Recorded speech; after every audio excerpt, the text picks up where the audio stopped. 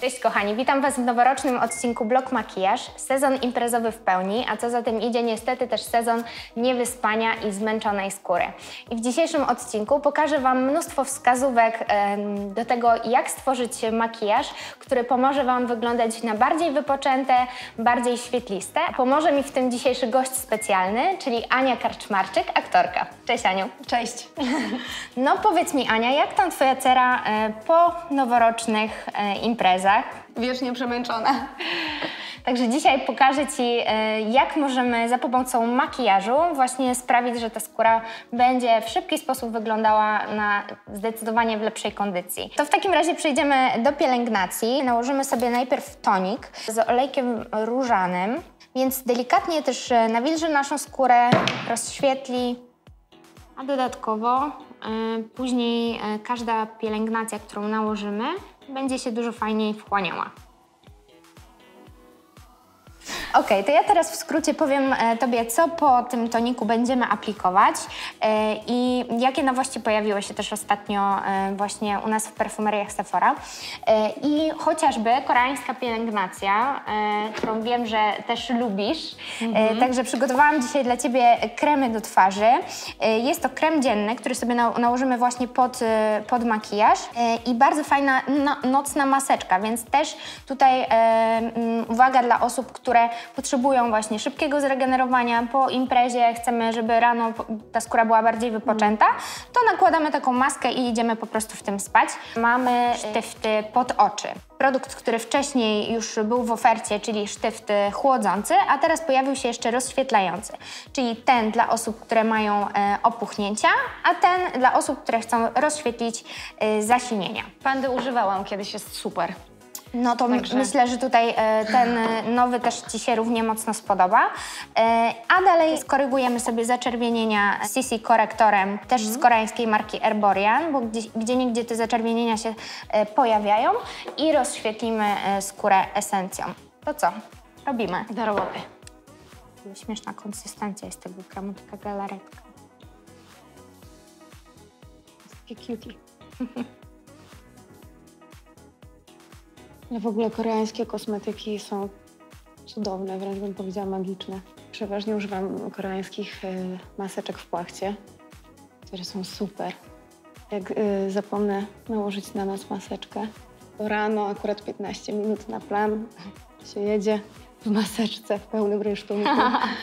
E, I też zdecydowanie lepiej potem e, makijaż się nakłada, bo ta skóra jest taka pobudzona rano i orzeźwiona. To jest krem na cienie, właśnie taki e, rozświetlający, odbijający światło. Zobacz, możesz sobie zobaczyć, pokażę Ci na, e, na dłoni, on już ma takie delikatne... Pigmencik taki? Tak, taki e, pigment odbijający światło, więc optycznie też sprawia, że to oko już... E, tak, już możemy mniej tego korektora nałożyć, tak? A wiadomo, że jak skóra jest zmęczona, to też nie lubi zbyt dużo tych produktów e, makijażowych na sobie. Skóra od razu da nam znać, jak coś jest nie tak.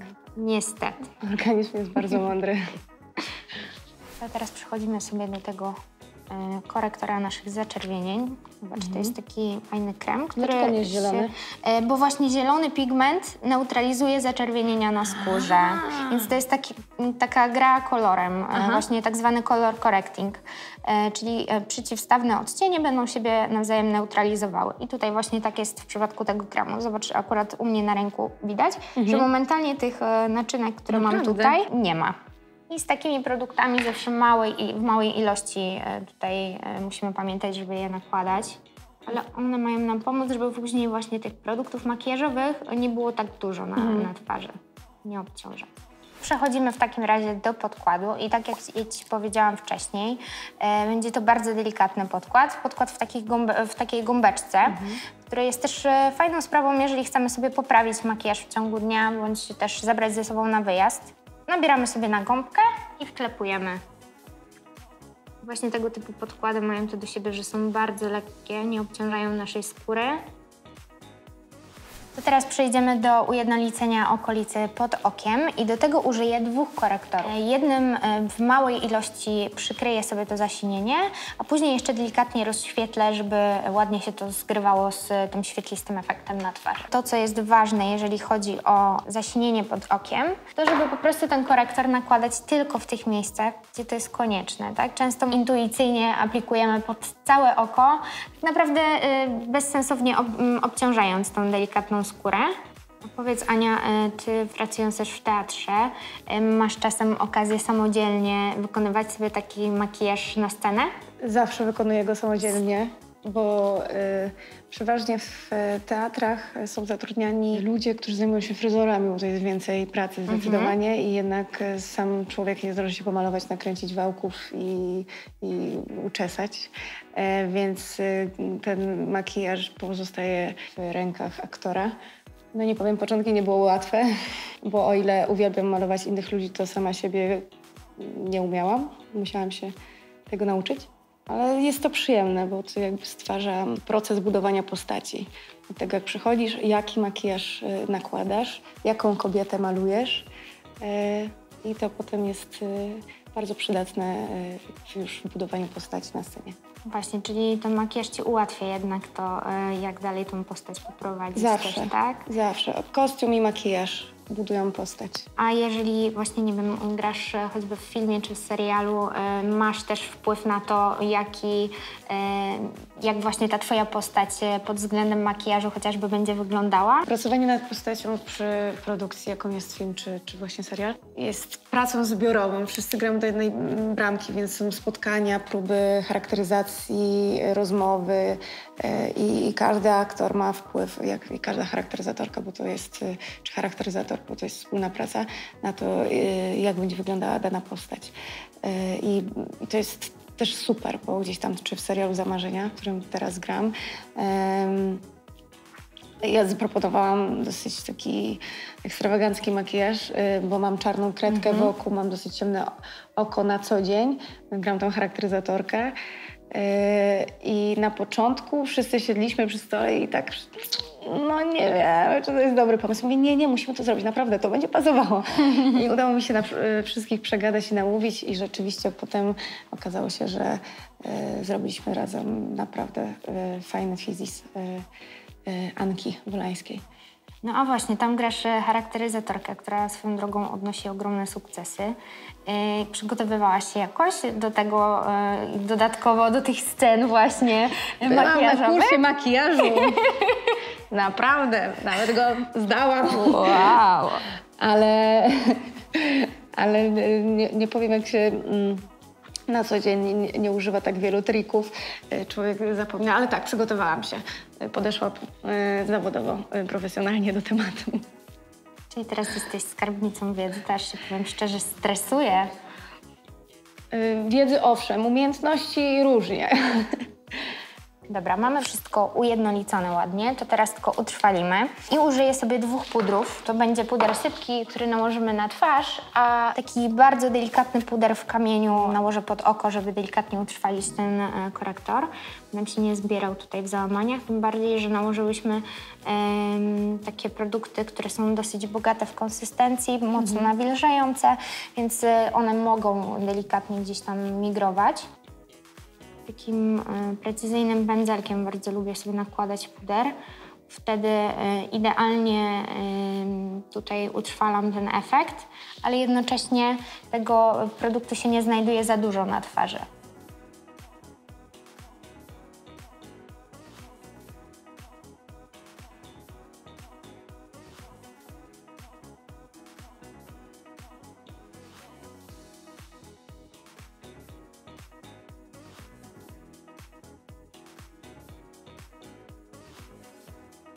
To teraz przechodzimy do modelowania twarzy. Użyjemy oczywiście bronzera i rozświetlających róży i rozświetlaczy w dwóch odcieniach. To, o czym powinniście jedynie pamiętać, że w przypadku zmęczonej skóry, żeby nie używać już tych takich bronzerów chłodnych, tylko raczej pójść w taki bronzer, który będzie ładnie odbijał światło, sprawiał, że skóra będzie taka delikatnie muśnięta słońcem.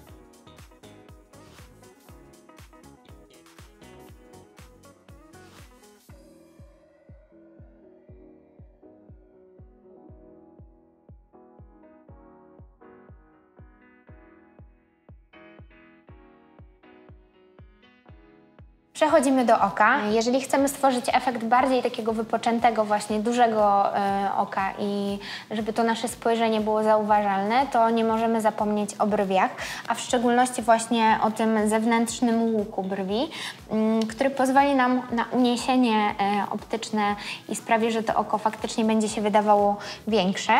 E, I ja to zrobię za pomocą kredki. Naturalny sposób po prostu wypełniam sobie tylko te przestrzenie mm, pomiędzy włoskami. I ważne jest to, żeby tutaj zaakcentować ten łuk brwiowy w zewnętrznej części brwi.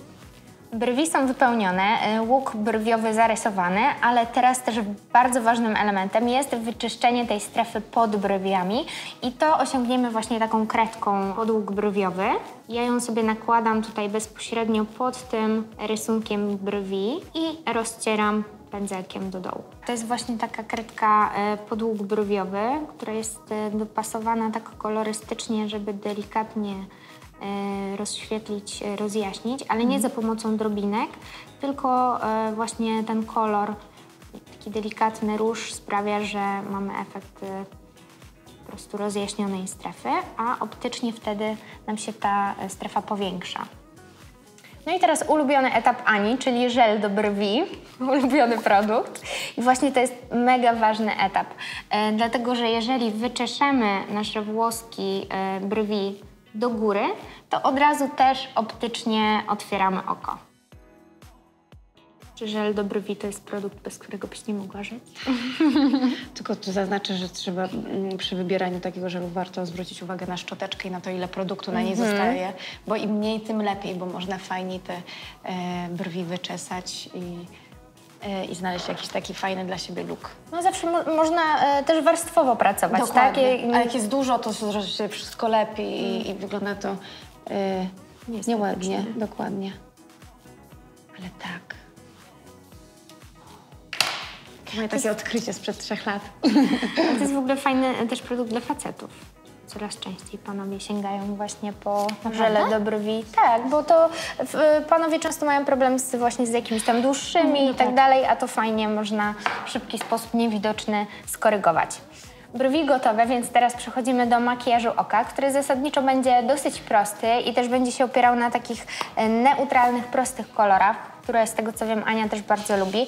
Nie będzie to skomplikowane, ale będzie zawierało dużo takich fajnych wskazówek, które myślę, że ułatwią Wam później em, ten codzienny makijaż oka i sprawią, że to oko faktycznie stanie się większe. E, zaczynam sobie od tego, że ujednolicę e, tą powiekę takim waniliowym cieniem, czyli taki mój pierwszy etap, który zawsze mm, nakładam przed makijażem oka, bo później wszystkie cienie łatwiej mi się blendują na, na takiej już pudrowej bazie. E, Teraz nakładam taki cielisty cień. I tutaj też e, będę szła raczej w cieplejsze tony, e, tak samo jak w przypadku bronzera, żeby nie stworzyć takiej zmęczonej e, skóry.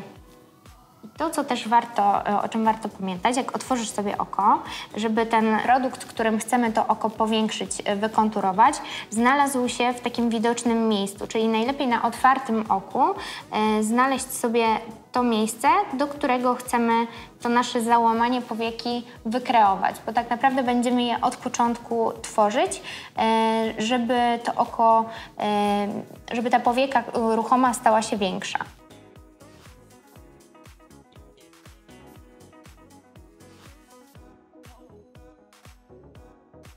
Tutaj też aplikujemy prawie, że pod same brwi z przodu.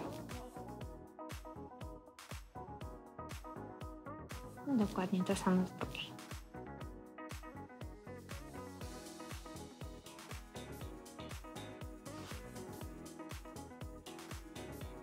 Delikatnie jeszcze wyciągam sobie ten cień na zewnątrz. To oko nie było takie okrągłe, tylko żeby delikatnie spowodować efekt takiego bardziej tak, kociego, zalotnego oka. A teraz będziemy przechodzić właśnie do cienia takiego rozświetlającego, które sprawi, że, że to nasze spojrzenie troszeczkę się wyostrzy. E, I to, co jest też bardzo ważne, że jeżeli chcemy powiększyć oko, to ten cień aplikujemy na dwie trzecie naszego oka, e, żeby nie, nie nakładać go tylko w wewnętrznym kąciku, ale żeby stanowiło to większość naszego makijażu, a przyciemniać będziemy tylko e, tą jedną trzecią, która nam zostanie. Ten cień nakładam już tylko na ruchomą powiekę, zostawiając ten mm, światłocień, który nałożyłam wcześniej. Wezmę sobie bardziej precyzyjny pędzelek i nałożę jeszcze ten cień tutaj w kąciku wewnętrznym. Żeby otworzyć oko. Tak. To wiedziałam. I tutaj dokładnie to samo zrobię na dole, z tym, że już ten cień nałożę tylko do połowy oka.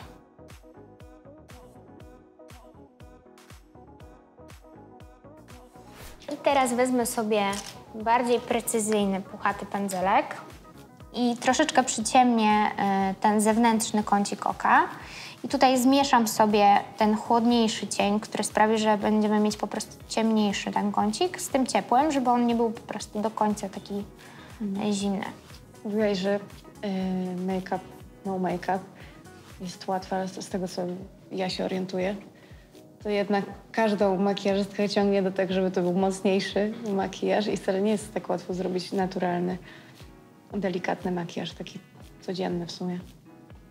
No zdecydowanie. Powiem szczerze, że ja osobiście nawet pamiętam, jak zaczynałam malować.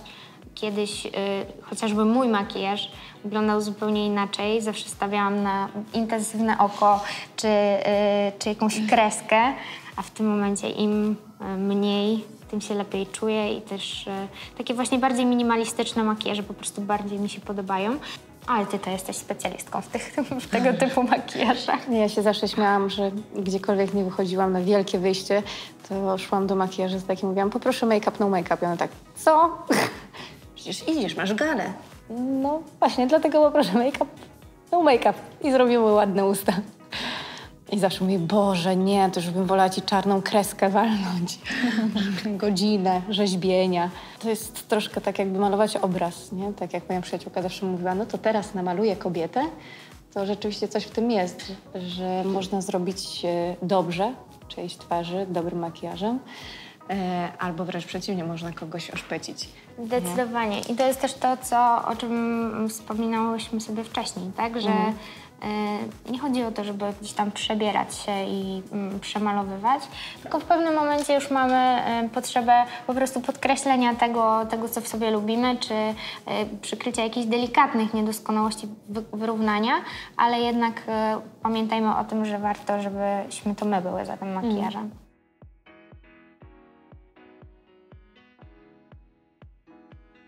Tutaj nie bójcie się tego, żeby rozetrzeć ten cień niżej, e, czyli do tej granicy, gdzie tak naprawdę czujecie e, swoją, e, pod skórą swoją gałkę oczną.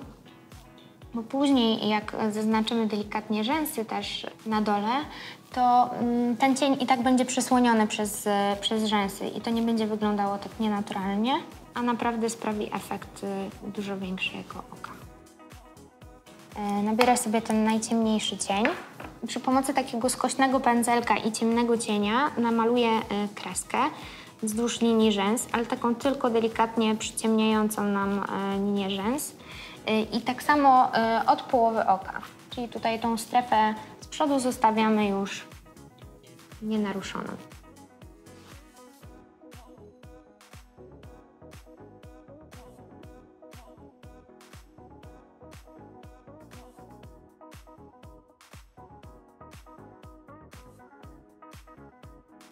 Tym samym ciemnym cieniem i tym samym pędzelkiem e, teraz przechodzimy na dół powieki i delikatnie pod linią rzęs aplikujemy taką delikatną linię i rozcieramy pędzelkiem. Tutaj sobie jakby w tym momencie troszeczkę obniżyłyśmy tą naszą naturalną linię rzęs, przez co to oko właśnie stało się powiększone. Ale dopełni to dopiero efekt e, kredki e, cielistej, którą nałożymy sobie w, li w linii wodnej dolnej. I właśnie cielista ze względu na to, żeby było bardziej naturalnie, żeby ten kontrast białka e, był widoczny. Wtedy też mm, często właśnie jak jesteśmy zmęczone, to, mm, to białko jest przekrwione, a tutaj przy takiej cielistej kresce będzie się wydawało po prostu bardziej białe. Przypomniało mi się, że gimnazjum, kiedy to modna była biała kredka w linii wodnej. Boże święty. Wyglądało to dosyć zabawnie teraz, jak patrzę na zdjęcia z gimnazjum. Dobrze, że są cieliste. Wtedy, wtedy w ogóle kredki były e, bardzo modne. fioletowe, tak. zielone. To były czasy. Y, Spójrz jeszcze do góry. I tutaj jeszcze delikatnie nałożę pomiędzy rzęsami, ale tylko w zewnętrznym kąciku oka.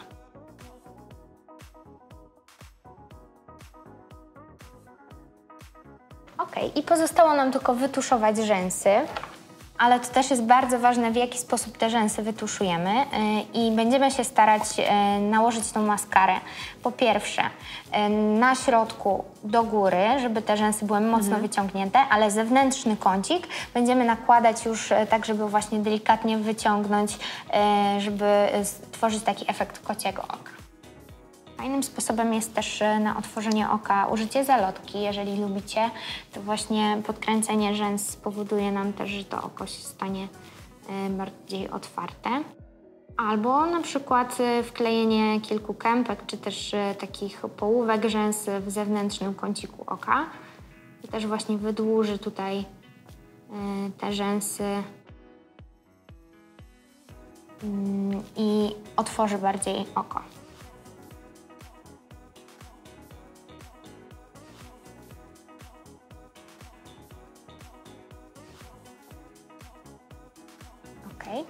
Fajna szczoteczka. Uwielbiam ten tusz. Jest super, bo nabiera właśnie idealną ilość tuszu, nie, nie skleja rzęs. A to też jest bardzo ważne, że tego tuszu y, nie może być zbyt dużo na rzęsach. One nie mogą być takie mocno aż y, przesadnie wytuszowane, bo wtedy też ta powieka będzie wydawała się ciężka.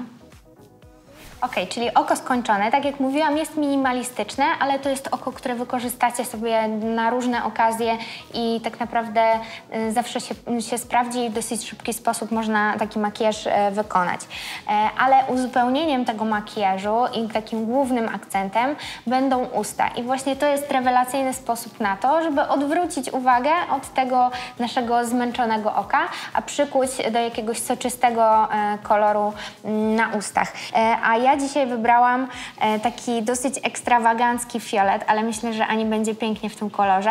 No właśnie, Ania, e, powiedz mi, e, bo wiem, że na co dzień malujesz się naturalnie, ale miałaś Albo jakąś taką przygodę z, z bardziej e, ekstrawaganckim makijażem, coś, coś takiego zaskakującego? Zaskakującego mnie samą. y, to jest inspiracja do tego makijażu, ponieważ pewnego dnia okazało się, że wieczorem idę na imprezę. Jest to impreza przebierana. No nie bardzo miałam się w co przebrać, ale miałam e, taki puchaty kombinezon biało-czarny, więc stwierdziłam, że namaluję sobie pandę. Ale nie miałam do tego żadnych, żadnych przyborów, żadnych farbek, nic, tylko cienie. Biały, czarny. Więc mówię, cienie? Biały, czarny? Na całą twarz? Fantastycznie! Skóra potem cierpiała tydzień, ale, ale panda była świetna. Myślę, że jakbym jej nie zmyła od razu y, po imprezie, to i tydzień mogłabym Tak, zostałaby, czyli generalnie trwałość. Przede Bardzo wszystkim trwałość, trwałość, tak? To tak samo będzie z tą pomadką, którą ci nałożę. Myślę, że zdecydowanie tutaj, gdybyś jej nie zmyła, to Ona jest taka, na, ma, to się jakoś ładnie mówi, wykończenie aksamitne, Tak. czy matowe. ma, to będzie wykończenie matowe. Fantastycznie. E, zastygające, także możesz pić e, na przykład kawę i mogę się całować? Też możesz się całować. I zacznę sobie od aplikacji właśnie pomadki, a później jeszcze wyrównam kontur konturówką.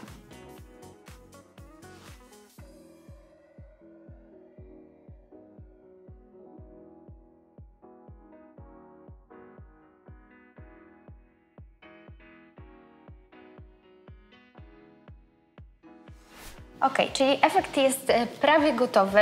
Możesz sobie zerknąć. Ja myślę, że jeszcze małe poprawki sobie w, e, wprowadzimy. Wow. Jak Ci się podoba ten kolor? Wygląda bardzo dobrze. Jako taki jeden akcent. To jest szybki sposób, tak naprawdę Ale na mogłybyśmy... imprezę. Ale nie na co dzień. No, na imprezę, ale mogłybyśmy spokojnie na przykład tylko wytuszować rzęsy, Mhm. nałożyć taką pomadkę na szybko i, e, i byłby makijaż już zrobiony, Mhm. tak? Dla osób, które nie lubią się gdzieś tam mocniej przymalowywać na twarzy. W przypadku tak mocnego koloru na usta warto jednak troszeczkę tego więcej koloru na policzki położyć, więc Mhm. dołożę trochę różu e, i gdzie niegdzie poprawimy sobie jeszcze tą strefę pod okiem, gdzie nam się troszeczkę cienie e, mogły e, osypać, żeby ten makijaż był taki nieskazitelny. Ostatnie muśnięcie. E, użyjemy sobie mgiełki kokosowej na wykończenie tego makijażu, ale to właśnie nie jest taki typowy spray wykończeniowy. Owszem, on będzie przedłużał nam tra- trwałość makijażu, ale za to, za co go lubię, to daje ogromny komfort, taki wręcz kompres e, na, dla takiej suchej skóry. E, mocno nawilża, e, ale też sprawia, że właśnie ta cała cera jest idealnie stopiona z, ze skórą i mamy taki efekt e, delikatnego muśnięcia, e, właśnie takiego blasku e, na skórze. I to jest w ogóle też rewelacja, jak chcemy mm, się odświeżyć w ciągu dnia, tak? Gdzieś nie, nie chcemy już do kolejnej nakładać warstwy pudru, to warto taki spray mieć w torebce, jak jest na przykład gorąco. To No taki wielki to chyba nie wejdzie do torebki. No może taki wielki nie, ale mamy też u nas w perfumeriach różne w mini rozmiarach, więc A. można sobie małe do torebki też Kieszonkowe. zakupić. Fajnie. Jeszcze pani prawie ci cień i możemy psikać. Zamknij. I to jest taka naprawdę mgiełka.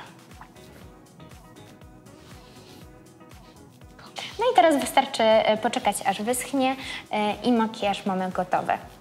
To co Ania, gotowa na efekt końcowy? To jeszcze raz możesz się zobaczyć już w pełnym wydaniu. No i jestem, powiem Ci szczerze, bardzo ciekawa, czy odważyłabyś się może na jakąś okazję y, nałożyć taką pomadkę na usta? Myślę, że na jakieś wyjście, pokaz mody, premierę, jak najbardziej. Ciekawa jestem, jak w blasku fleszy to by wyglądało jeszcze.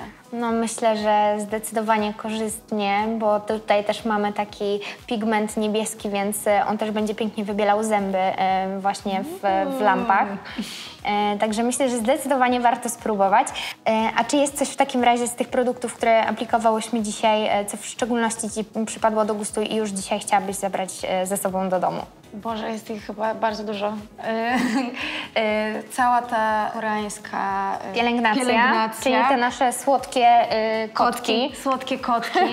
palety cieni, którymi robiłyśmy e, Mhm, czyli Smashbox. Contouring. Ta najnowsza, Smashbox? Tak, to najnowsza pole, paletka właśnie w neutralnych odcieniach. Czyli Jak- coś, co tobie się zawsze sprawdza, prawda? Dokładnie. To jest kosmetyk, myślę, że na lata. I jak na każdą srokę przy, przystało Dior i, i Rozświetlacze. rozświetlacze. No tak, rozświetlacze nie mają sobie równych, także jeżeli szukacie właśnie takiego efektu wow, to zdecydowanie ten produkt y, może nam to zapewnić. Mamy nadzieję, że dzisiejsza propozycja makijażu Wam się spodobała i że wykorzystacie te wskazówki, y, które Wam y, dzisiaj przekazałyśmy. A jeżeli macie jakieś swoje pomysły na to, w jaki sposób sprawić, żeby skóra była bardziej wypoczęta, bądź makijażem y, stworzyć efekt mm, bardziej takiej lśniącej, y, świetlistej, promiennej skóry, to czekamy na Wasze komentarze. Bardzo chętnie poczytamy. Y, Może wykorzystamy je też w następnym filmiku. Ania, pewnie też jesteś ciekawa. Pewnie, bardzo chętnie się dowiem czegoś nowego. To dziękujemy Wam bardzo i życzymy Wam szczęśliwego nowego roku. Wszystkiego dobrego.